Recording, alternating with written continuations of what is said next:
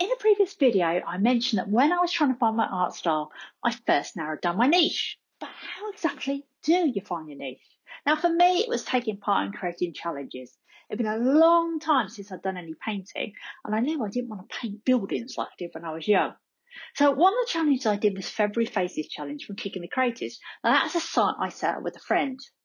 Doing this challenge, I realised how much I enjoyed painting faces. However, I had a slight dilemma because I also liked creating characters and cartoons.